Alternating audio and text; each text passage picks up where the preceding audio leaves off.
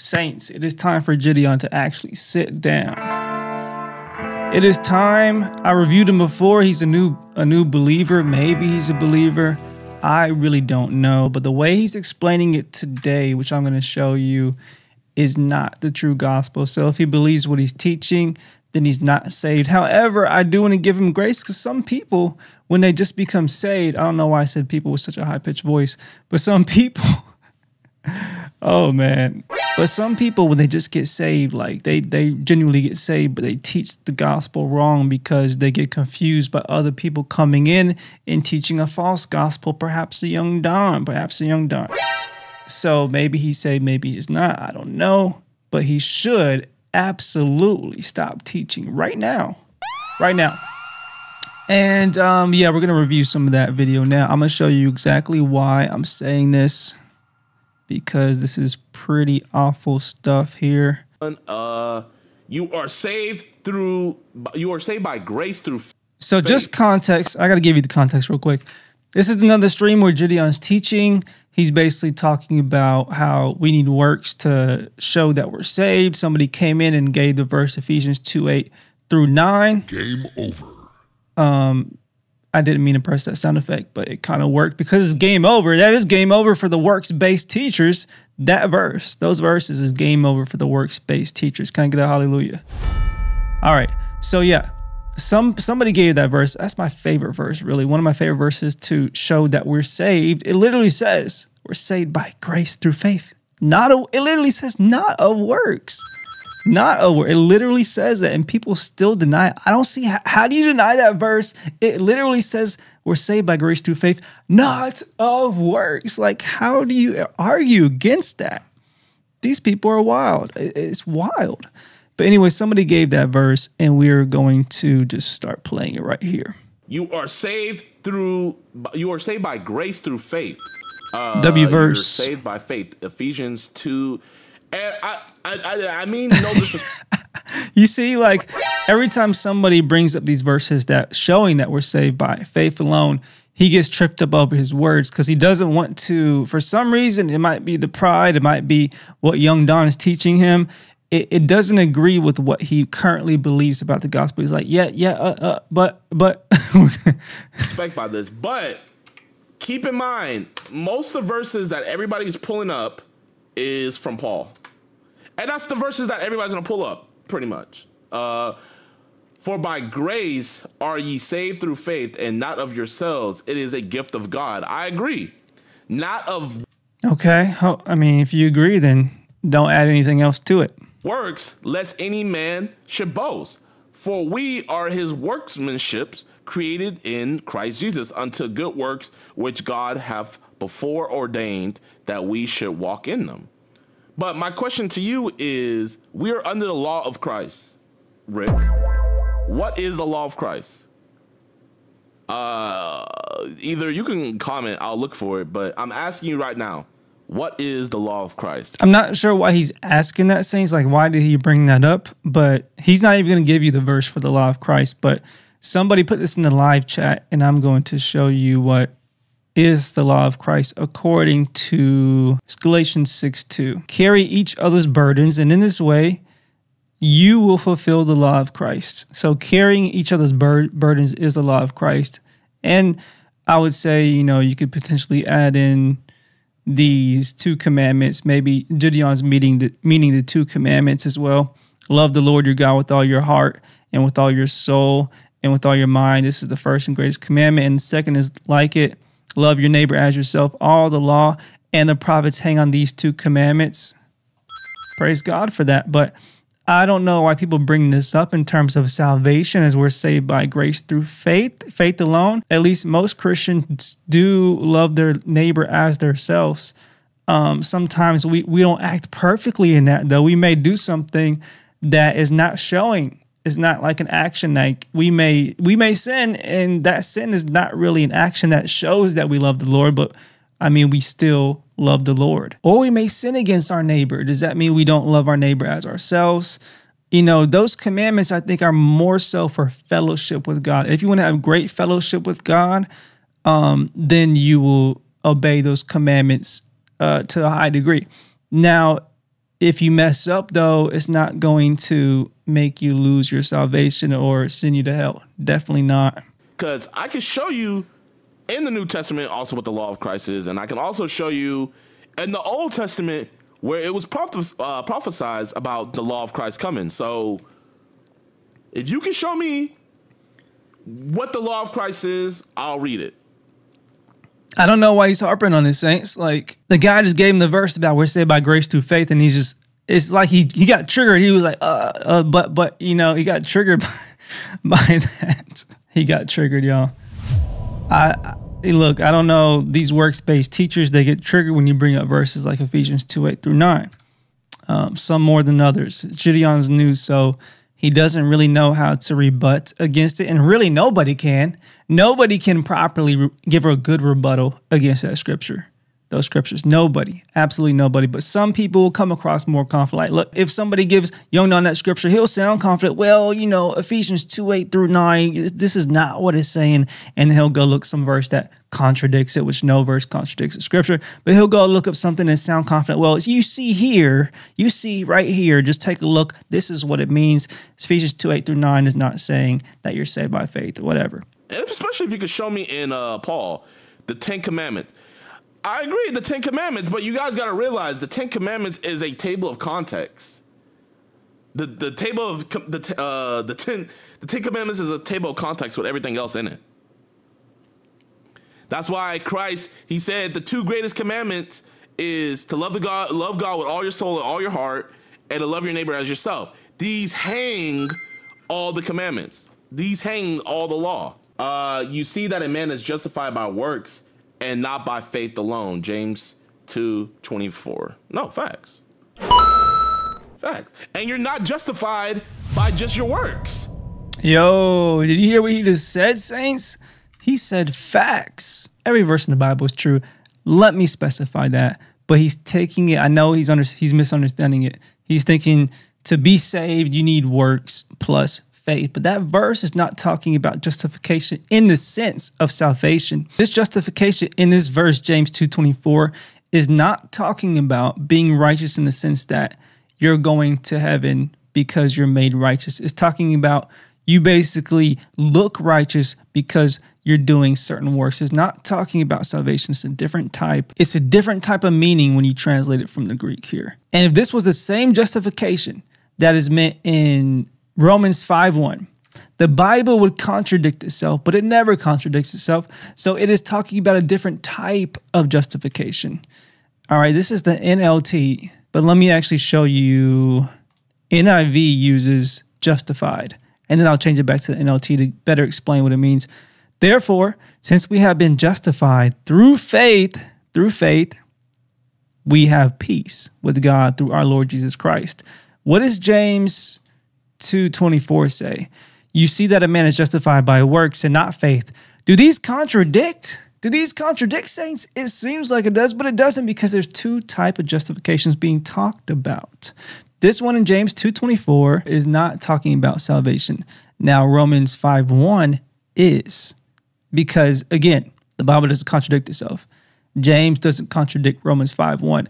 It's two types of justification. Now let me show you through the NLT. Hallelujah. Praise the Lord. Thank you, Lord. Now, let me show you through the NLT what type of justification this is. Therefore, since we have been made right, therefore, since we have been made right in God's sight by faith, we have peace with God because of what Jesus Christ our Lord has done for us. This is talking, saints, about our eternal destiny. Now I'm going to give you another cross reference Romans 3 23 to 24. For all have sinned and fallen short of the glory of God all are justified freely by his grace through the redemption that came by Christ Jesus. Saints, this is what justification really means in the sense of eternal security. And then I have another cross reference, the faith of Abraham, Romans 4 1 through 5. Jidion and all these works based righteousness teachers really need to have a Bible study on Romans because it talks about what justification means. How do you become justified? How do you become seen righteous in God's sight? For our salvation, for salvation purposes. Abraham, which is the father of the faith, Abraham was humanly speaking the founder of the Jewish nation. What did he discover about being made right with God?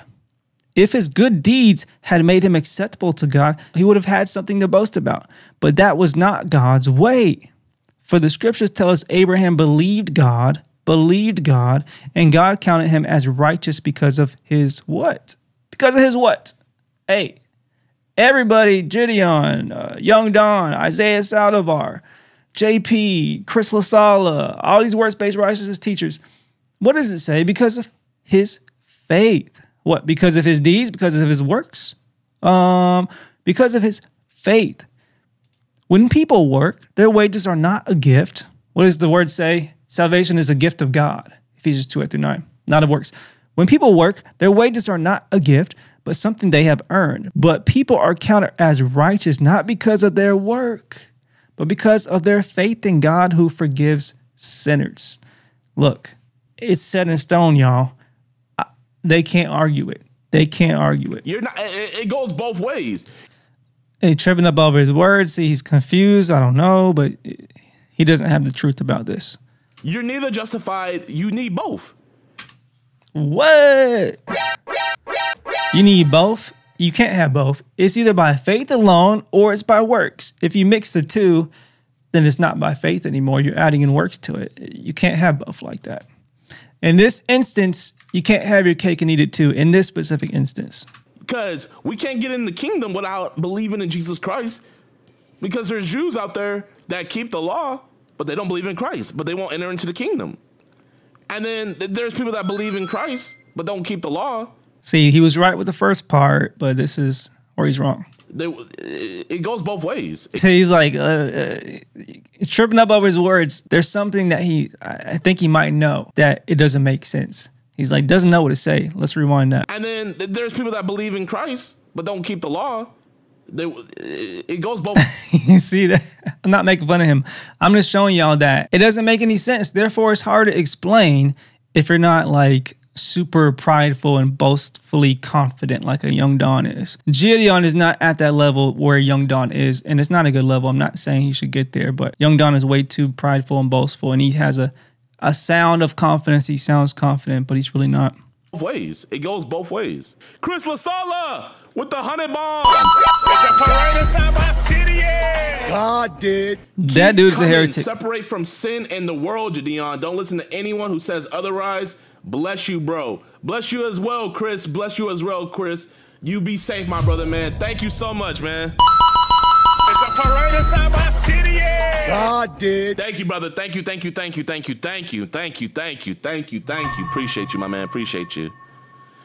Uh, yes. I don't know, man. I think I think Chris is running a cult. I don't know what to say about Chris, y'all, but I think I know he's a false teacher, and I think that he's got some type of cult thing going on he's actually been mentoring Young Don himself, been mentoring Young Don, and now he might be coming after Jidion, it looks like. That's why I put that scary sound effect. Chris LaSala, man. I'll do videos about him in the future, most likely. I haven't got to him yet. Uh, yes, the doctrine of salvation by faith alone was invented by a man named Martin Luther in the 1500s. Many people teach this false doctrine. Uh, no, no, no, no. Faith alone was invented in the Bible, in the New Testament, folks. That's when it was invented. It's not invented in the 1500s. That's crazy. It's literally what the Bible teaches. Actually, I think it goes further. Well, actually, you might be right about that, but I think it might go further if I'm not mistaken. Um, Bible study. Uh, maybe I'll look into that. I, have heard about Martin Luther. and I'll look into that, man.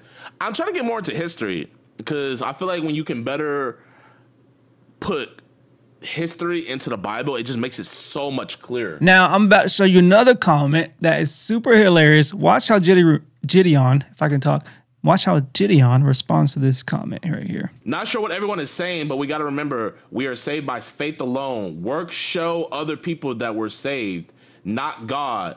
Love you, Jidion. I love you too, brother. I love you too, man. But um, I, I love you. Bro. He's like, I, I, love you too. Every time somebody brings up faith alone, uh, it's like, I, you know, he doesn't really have a, a clear reaction to it. It's hilarious.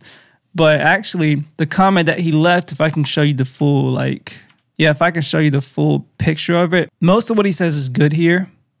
But then he says, works show other people that were saved, which I would argue against that. They don't, you don't need proof of works for salvation, as anybody can do good works. Catholics can do good works, Muslims can do good works, Buddhists can do good works. So works don't necessarily show that we're saved as anybody can do good works. But I do like that he put this in, but we got to remember we are saved by faith alone. And this is what really triggered Jidion right here. Let's see how he responded again. I love you too, brother. I love you too, man. But, um, I, just like, uh, I, you know, I, I, don't know how to respond because I, I, I believe we're saved by works too. And this faith alone stuff is really getting to Jidion. He doesn't really know how to properly respond to it because he can't. The Bible doesn't preach that we need works to be saved. I love you, brother, but you know, I, I, I, just let I let Scripture talk. I let Scripture talk. So, brother Brody, Scripture does talk. It says we're saved by faith alone, brother. He said, "Not sure why every what everyone is saying, but we got to remember we're saved by faith alone. Works show other." And I do agree with him to an extent. You know, when you have faith, you believe in something, and but you know, believing is also an action. Uh, I'll say it right here. Yeah, First John two three. Okay, I'll start here. Uh, and he himself is the propitiation for our sins, and not for ours only, but for those of the whole world. But this we know that we have come to know him if we keep his commandments. The one who says, I have come to know him and does not keep his commandments is a liar, and the truth is not in him. Now, that verse really got me for a while, since I'm like, what does this mean? Like, does it mean we need works because if we don't keep his commandments, I'm a liar, we don't know him? Is that is that talking about salvation? Does that mean I'm not saved if I don't keep all of the commandments, Jesus' commandments? If I mess up maybe and not treating my neighbor as myself, does that mean I am a liar and I don't have the truth in me. I think those verses are talking about fellowship. Our fellowship with God, our walk with God is not talking about salvation. Why is it not talking about salvation? Because let me show you, let me go back to the actual scriptures. It's saying to the one who says, I have come to know him and does not keep his commandments. See, if you go to Matthew 7, in Matthew 7, it says, Jesus will say to them, Depart from me, for I never knew you for I never knew you. So I think when we're saved, God knows us, but we start to learn Him. We don't know Him entirely. It's a walk, it's a fellowship. We learn Him more by reading the Word, by following the commandments, by being obedient. So I think in this instance, it's talking about fellowship. Actually, I know it for a fact because, again, we're saved by faith alone. If you mess up with keeping a commandment or doing a work that you're not supposed to do or not not doing good works, you may sin. It doesn't mean you're going to lose your salvation. I know that for a fact. So this right here has to be talking about fellowship. If you're not obedient, you're you're not really knowing God to the full extent. God still knows you though. At the instant, I believe at the instant you are saved, God will never say to you what Matthew 7 says to the people who are rejected. Depart from me, for I never knew you. God's not going to say that to a born again Christian. And he says that I never knew you because God was never living inside of that person who he rejects in Matthew 7, who is the worker of iniquity, the worker of lawlessness. They were not justified. They were never seen as righteous in God's eyes. But God knows all his children, he knows us intimately because we're indwelt with the Holy Spirit. He's living inside of us. But it takes time. It's a process of coming to know Him. So that is why this is talking about fellowship, not salvation. You know, the Bible speaks for itself. So I'm not gonna say that's what you're saying, Brody, but just in case anyone take it like that. And if it is what you're saying, then it is what it is. But yeah. All right, guys. So that was basically it. I just wanted to show you that Jidion is is going in a worse and worse direction. He's adding. He's literally adding works to the gospel. He says is faith plus works. That is heresy. That is heresy. And the word says, if any man preaches a false gospel, let that man be accursed. Now, Jidion's super new to this stuff. I hope God has grace and mercy upon him. And I pray that he gets out of the false doctrine that he's teaching. I pray that if he's not truly saved, that he gets truly saved. And as I don't want anybody to go to hell, I don't. But if he keeps this up, it's just going to be worse and worse for him. And And this is the horrible thing. You know, people like me are in a weird position. We want to have grace and mercy on people like Jidion, as they're super new to the whole Christianity thing. However, they have such a large audience, they're leading hundreds of thousands of people astray. So it's like, what do you really focus on more? I think that it's more important to focus on all the people that Jidion is leading astray. It's so many people. So I want to have grace and all that, but at the at the same time, I have to call it out and I have to just be bold in doing so because there's a bad consequence for him to be teaching false doctrine. The consequences are horrible. Even if Jidion is a little bit ignorant, I have to make these types of videos and share the truth and be bold in doing so, as the people who he is misleading matter to. So let me know what you guys think in the comments below. Should Jidion step down right now? I think so.